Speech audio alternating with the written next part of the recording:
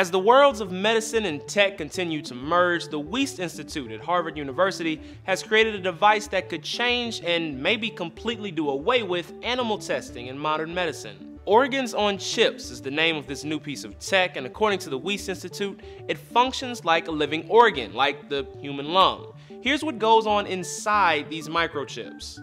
We introduced bacteria into the air channel, and we introduced white blood cells to the blood channel.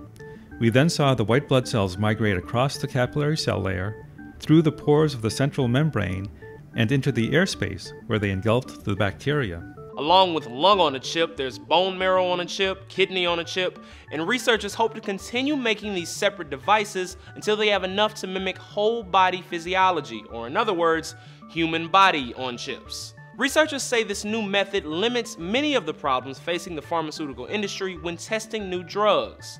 First, it's less expensive. According to the Wyss Institute, testing a single compound the traditional way can cost upwards of $2 million.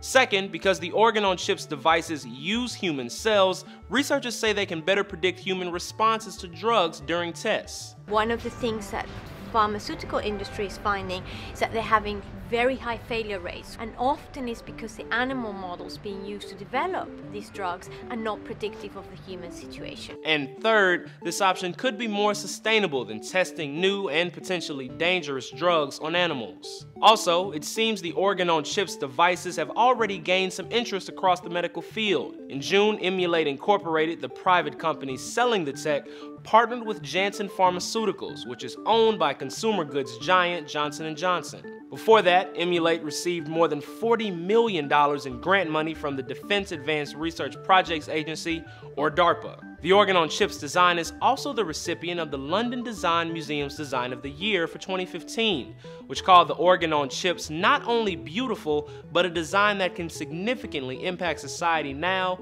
and in the future. For Newsy, I'm Jamal Andress.